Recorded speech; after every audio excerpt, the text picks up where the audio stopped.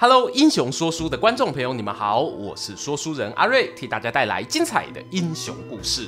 在二十一世纪初期啊，日本 NHK 电视台曾经公布一份日本人喜爱的事物调查报告，当中呢，在历史人物这个项目中哦，前两名都被战国大名给包办。分别是织田信长与德川家康，他们呢也算我们英雄说书频道的熟面孔啦。不过紧追在后的第三名哦就不简单喽，有人形容他呢是幕末黑暗时期中最闪亮的一颗流星，在历史舞台停留的时间虽然短暂，划过天空后啊却放出最耀眼的光芒，替日本照亮了接下来的明治维新之路。没错。终于啊，要轮到介绍我们出身土佐的豪杰，拉开近代日本政治改革的序幕——坂本龙马。老观众们呐，从之前两支新选组的影片应该都猜得到了，那可以说是用近藤勇与土方岁三替龙马开路。和新选组相同的地方是呢，坂本龙马的人生经历是许多二创艺术作品热爱的题材。最早在大正年间哦，公元一九一一年就被搬上了大荧幕演出。后来六零年代更有大家熟悉的国民作家司马辽太郎撰写长篇小说《龙马行》。累积到今天为止的电影、电视剧、动漫改编作品啊，是多如繁星。而版本龙马故事呢，之所以受到社会大众的欢迎，除了他在一个大时代关键转捩点上，敢于实践自己理想，尝试去推动历史齿轮的勇气之外，其洒脱的个性、充满魅力的口才，更是令许多人深深着迷。我打算呢，用两集影片的时间来跟大家聊聊我所认识的版本龙马，而这一切的开端呢，就从龙马的故乡、孕育幕末志士的摇篮——维新之门土佐国开始聊起吧。土佐国位置在今天四国岛上的高知县，是一个农业为主的县市。由于啊，在幕府末期，他们积极推动经济与政治上的改革运动，和另外三个藩国，分别是萨摩、长州、肥前，并称为萨长土肥四大雄藩。后来的明治维新时期呢，贡献了很多人才进入新政府工作。当然啦，这有好有坏哦。未来呢，有机会再聊。喜欢日本战国的朋友，听到土佐呢，一定会想到那一个看似瘦弱，实则勇猛过人的战国大名长宗我部元亲。他其实哦，也与龙马的祖先渊源有点关系哦。当时啊，元亲能够统一土佐，有一个很重要的政策，叫做一领俱足。白话讲呢，就是更有制度的兵农合一啦。然而长宗我部家的快乐呢，没有持续太久。随着大家熟悉的官员之战到来，他们加入了西军，最后啊被德川家康为首的东军打败，还受到惩罚性调度，没收了对土佐国的统治权。家康呢，把土佐改封给自己的家臣山内一封。跟随山内一封前来的还有很多武士，他们被称为上士。这个上哦，就是比较高级的意思。有上就会有下啦。原本啊，在长宗我部旗下那一些一领巨族的武士阶级就是下士了，也有人称之为乡士。因此，大家可以理解这些所谓乡士跟德川家康建立起来的幕府是有过节的啊。间接也导致了在幕末年代，很多出身土佐的乡士选择用脱凡这种行为来表达自己对时局的不满，进而成为推动倒幕的动力。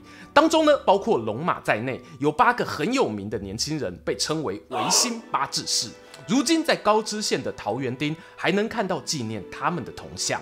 好啦，话说回我们的主角坂本龙马，他是在一八三五年十一月出生于土佐国的城下町，身份哦就是乡士。不过这个身份呢是买来的，因为啊，据说他祖辈是经营过酿酒与丝绸业的大商号，店名叫做财谷屋，累积了不少资产，后来分出了龙马爸爸这一个支系。在司马辽太郎的小说中呢，还引用一个更戏剧性的传闻。他说啊，龙马家人是明治光秀的家臣明治秀满的后裔，在本能寺之变后逃来四国，因为落脚在长冈郡彩谷村，所以呢用这个来替店铺取名。无论以上传说真实性有多少，在家族经济支援下，使得龙马的童年哦过得上称宽裕。而且后来呢，他行走江湖时有个化名，就叫做财谷梅太郎，把财谷屋的名号啊拿来使用，算是一种呢对祖先的致敬啦。其实龙马这两个字呢，也并非本名，他原来的名字是坂本直柔，会被叫做龙马的原因哦，有几个常见说法。有一说呢，是跟历史上很多名人相似，父母亲在生下他之前，做梦梦到飞龙啊、飞马等祥瑞之兆，因此拿来当做昵称。另一说是呢，当时啊有一些与龙马往来的书信是称呼他为良马，在日语发音呢读作六马。刚好我和龙马相同，所以后来汉字呢，大家也就没再特别区分了。龙马呢，早早啊就被安排进入家乡附近的私塾念书。不过他小时候身体瘦弱，还有尿床的坏习惯，经常啊被同学欺负。加上呢，母亲在他十岁这年过世，对于小朋友来说，我那个情绪压力确实比较难以排解。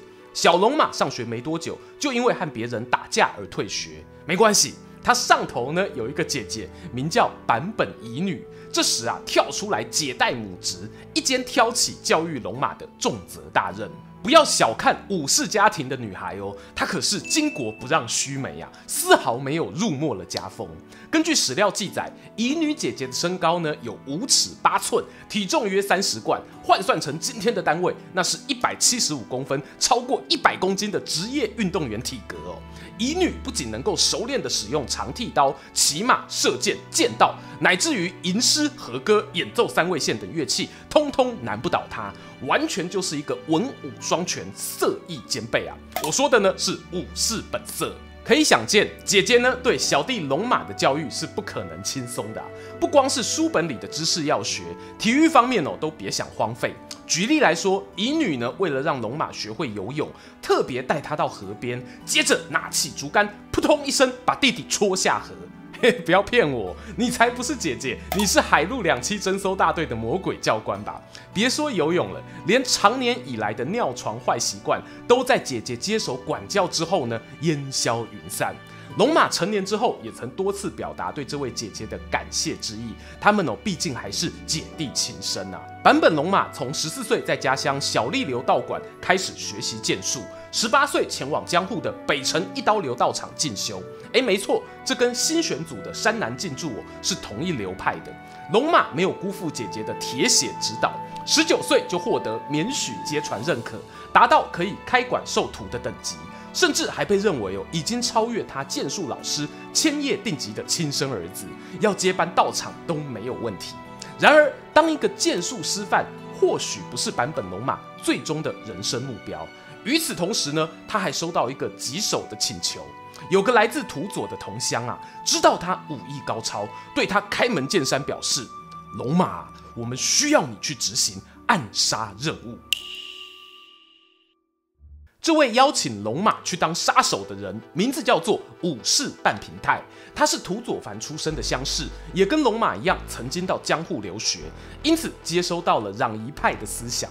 要知道啊，坂本龙马十八岁在江户剑道馆练剑的时刻，正好就撞上了公元一八五三年黑船来航。有理想、有抱负的年轻人，怎么可能不关心世界大事呢？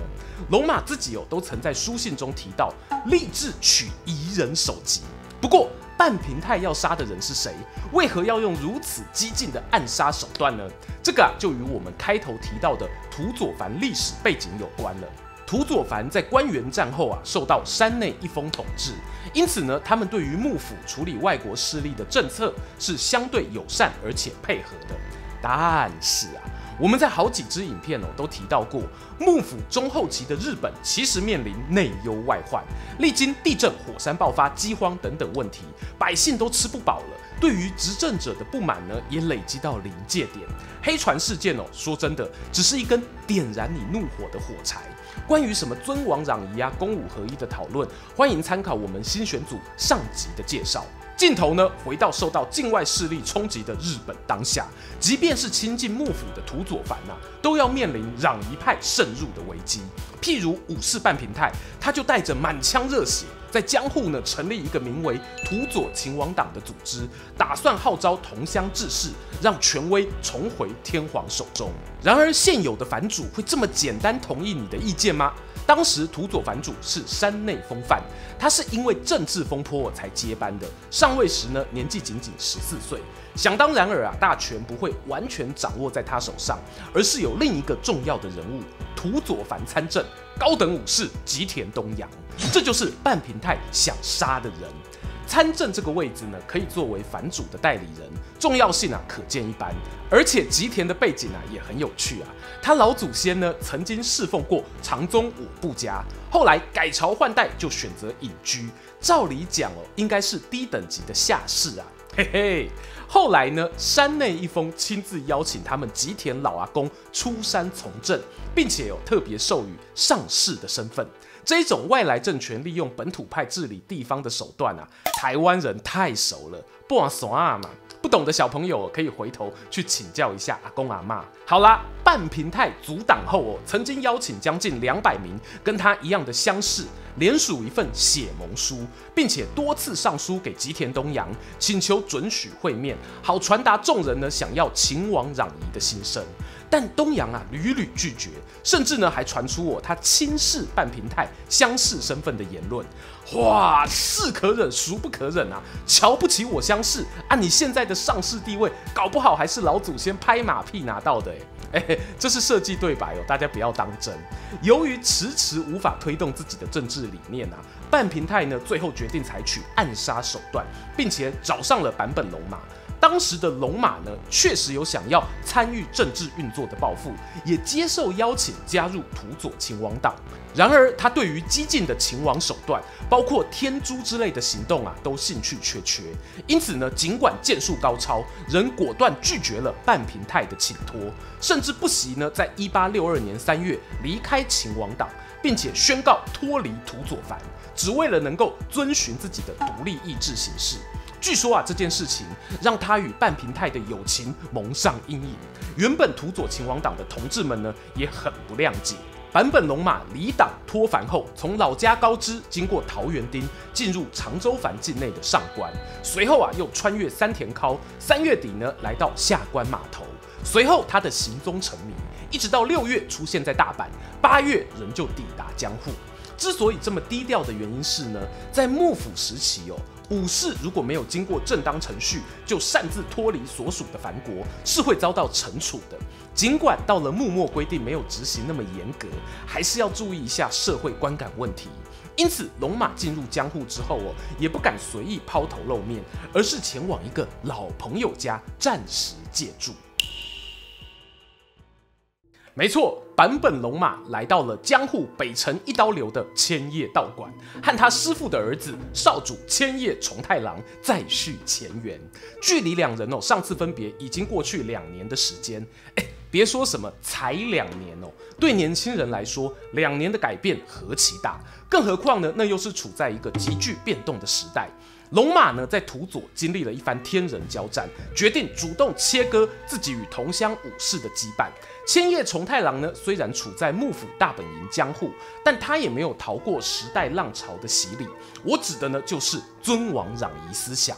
重太郎碰到龙马后，第一个讨论的话题就非常攘夷。他说啊，好兄弟啊，我最近想暗杀一个人，陪我去吧。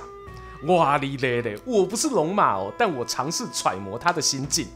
我不久前才因为不想杀吉田东洋，跟土佐秦王党的兄弟们翻脸，你现在又找我去杀人，金马喜安坐，我玩的不是幕末维新，是刺客教条呢。只不过啊，此时寄人篱下，也不好当面撕破脸。龙马继续问啊，你想杀谁呀？先说来听听。千叶重太郎冷静的开口。我想杀的是担任幕府军舰奉行的国贼盛海舟。此话一出啊，龙马心中的震惊呢，恐怕是比起当初半平太找他刺杀吉田东洋有过之而无不及呀。盛海洲是幕府政权中数一数二的海军专家兼政治明星。大家听过他最有名的事迹呢？大概哦，就是在幕府垮台时，他以陆军总裁身份去和新政府谈判，双方协议江户开门投降，免去一场血光之灾。而更早一点呢，也就是坂本龙马当下，其实盛海洲哦更广为人知的形象是美帝文化的爱好者。美国人啊，开着黑船到江户湾威胁国门，结果呢，盛海洲在一八六零年时和一干幕府重臣搭乘军舰咸灵丸，用超过一个月时间横越太平洋前往旧金山参访。回国后呢，对将军啊大力宣传美国如何如何先进，也赞成呢彼此贸易交流。这应该哦也是千叶重太郎不爽盛海洲的原因。那么接下来事情会如何发展呢？这里啊，先容我引用司马辽太郎小说《龙马行》的情节。书上表示，坂本龙马这一次没有第一时间拒绝重太郎的邀请，或许呢是因为盛海舟在攘夷派人士心中哦真的很黑吧。龙马决定陪同老朋友一起去看看这个大魔王究竟是怎样讨人厌。于是，他们两人假借年轻人请教学问的名义，来到盛海舟位于今日东京都港区赤坂六丁目的住处拜访。殊不知啊，两人一走进门，跟盛海舟打个照面，就被一股霸者之气给震折了。没错，盛海洲也是家学渊源的高手，他和父亲呢都出自剑术名门，直心引流，从小开始练剑，十六岁就取得免许接传。只见呢，他不慌不忙带领龙马与重太郎进入内厅，就像闲话家常那样开口：“两位啊，眉宇之间散发浓厚杀气，你们是打算来刺杀我的吧？”两个年轻人哦，虎躯一震，还没来得及反应，盛海舟一摆手，接着说下去：“我不是要阻止你们啊，只不过杀我之前，可否听我讲完最后一席话？”龙马与重太郎互望一眼，点了点头。于是呢，把按到剑柄上的手又慢慢松开。接下来呀，盛海舟开始他的表演，口沫横飞的把他心中从十八世纪以来世界各国发展的局势变化讲解了一遍。其中当然有一些比较夸张的地方，这不能怪他，因为大家也知道，幕末锁国时期能够接受西方资讯的管道原本就窄，譬如蓝学就是少数的案例。哎，这里有个巧合是呢。盛海舟与坂本龙马还刚好都有在江户一位蓝学大师左久间象山门下上过课，合理揣测哦。龙马本身就已经有一点对外国文化的印象，搭配盛海舟的说明和他自己的想法对照，不谋而合，开始撼动了他原本对于幕府与外国交流是弊大于利的想法。再加上呢，此刻盛海舟啊刚旅美归来不久，又加码分享了他第一手对美国的观点。他曾说过，在美国这个地方啊，只要是人都可以获得平等的对待，这和日本的阶级门阀主义简直啊有。天壤之别！哎哎哎哎哎，大家别急着吐槽哦。盛海州啊，你难道不知道美国种族冲突有多严重吗？第一啊，当时呢使节团只在美国停留短短几个月，说要了解有多深哦是不可能的。第二呢，盛海洲就算知道美国社会确实有族群摩擦，也不会特别多加琢磨，因为他这么说是有目的性的，希望透过引进西方政治文化，看有没有机会冲击日本现有的门阀架构。从事后结果看呢，他确实达到了目的。随着盛海洲的演说气氛啊越来越热烈，龙马杀气腾腾的表情渐渐缓和下来。甚至啊，主动说出，请盛先生收我为徒吧。从刺客摇身一变成为大粉丝，坐在一旁的重太郎哦，应该也是傻眼。哎哎，你不是要来帮我砍人的吗？这个超级戏剧化的转折哦，透过龙马行的小说渲染，广为人知。But 当中有没有一些值得讨论的地方呢？肯定啊是有的。根据一些后来史料，譬如二零零八年版本龙马历史大试点，还有盛海洲个人的日记显示呢，其实哦，版本龙马在与他见面前，曾经先去拜访幕府的正式总裁松平春月，还拜托松平写了介绍信引荐过来。假设龙马真的心怀不轨，松平这边哦，肯定也会发现蛛丝马迹。此外呢，盛海洲日记里记载他跟龙马见过两次面。第一次啊，就是在江户，地点也是上面说的自宅，没错。不过与龙马同行的人呢，是两位他的土佐同乡，而非千叶重太郎。第二次碰面时呢，重太郎才有随同。换句话说，龙马很可能真的是存着要去好好跟盛海舟谈事情的心思，并非那么夸张的由恨转爱。另外呢，还有一个证据是啊。龙马在此事过后，有写信给家乡的三姐坂本乙女，信上表示呢，现在的我啊，可是日本第一兵法家盛海舟的弟子呢，开心之情啊跃然纸上。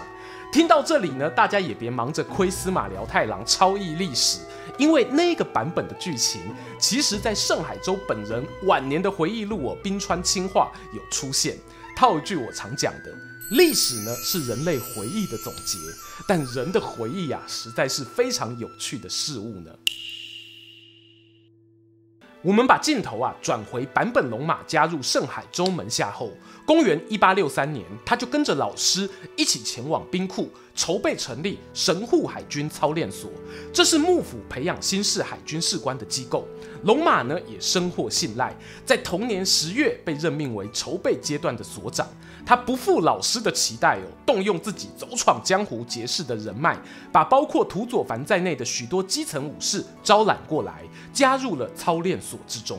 而盛海舟本人呐是标准科班出身，早年呢就曾在长崎海军传习所训练好几年，因此培训海战精英呢他是行阿来的。他和龙马一手打造的这一间学校，培养出了像是伊东佑亨、陆奥宗光等人，对未来的日本都有相当影响力。在这段期间中呢，盛海洲啊也想办法替龙马解决一些历史包袱，譬如啊他任意脱凡事件。盛海洲趁着与土佐藩藩主在江户碰面的时刻，不经意的透露想请他赦免版本龙马的脱凡罪名。当时藩主呢已经换成山内荣堂。荣堂二话不说的答应了。然而有个有趣的小八卦是，坂本龙马的名气呀，后来水涨船高。山内荣堂得知他是土佐藩的乡士，还跑去问亲信哦，哎，这口龙马好像很厉害啊，改天找他来见面吃个饭吧。他却忘了呢，自己哦早就跟龙马有过数面之缘，而且还赦免过他的罪状呢。从这件事呢，也反映出盛海洲念兹在兹的阶级问题啊有多严重。但对龙马来说，他是用另一种角度看待，在他心里呢，早就已经把“凡”这个概念哦给抛去了。土佐凡也好，萨摩凡也罢，未来难道不能都纳入新日本的框架底下吗？因此，虽然他被赦免了罪名，可是当他收到反主要求各地凡事限期回乡的命令时，完全没有打算遵守，因为啊，龙马的心思通通放在老师交办他的学校任务上。所以回归土佐藩短短一年不到，他又再次脱离，成为浪人的身份。公元一八六四年五月，盛海州与龙马的心血结晶海军操练所正式宣布成立。正当龙马以为可以从此扬帆远航，完成与世界接轨的志向时，随之而来爆发的池田屋事件，却意外打击了海军操练所。关于池田屋的前因后果，请参考我我们新选组下集的影片说明。经由幕府调查呢，意外发现有数名海军学校的学员参与了池田屋的非法集会，甚至啊后来爆发的进门之变也有学员的身影。这使得啊盛海舟遭到政敌围剿，认为呢他开设海军操练所是为了培养激进分子，偷偷对抗幕府。结果创校那一年的十一月，盛海舟就被迫黯然下台。还解除了他军舰奉行的职务。隔年三月，海军操练所也惨遭废校处分。面对无情的政治斗争啊，盛海舟与坂本龙马这一对师徒究竟该如何自处？而幕府呢，在国内反对势力大张旗鼓袭来的时刻，又会祭出怎样的铁血政策去镇压呢？更精彩的故事，龙马与西乡隆盛的相会，萨长同盟的历史性一刻，且听下。回分晓。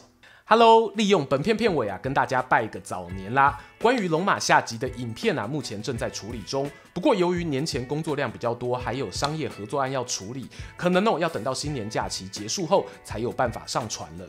今年春节呢，我有特别邀请说书大联盟的好伙伴们柳黄书奇幻图书馆阿秋以及史前文化阿钱，共同录制了一集贺岁节目献给大家。也请别忘了按下订阅，打开小铃铛，到时候呢准备接收我们满满的祝福吧。